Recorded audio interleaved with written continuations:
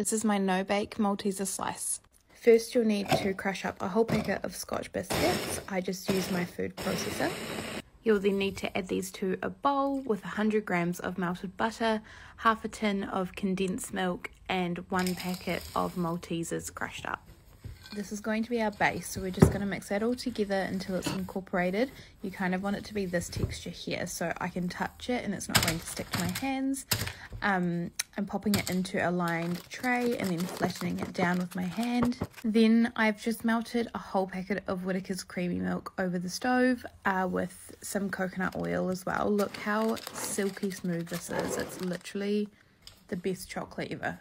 Then I'm just using Maltesers and placing them where I kind of want to cut slices. So there'll be one Malteser on top of each slice.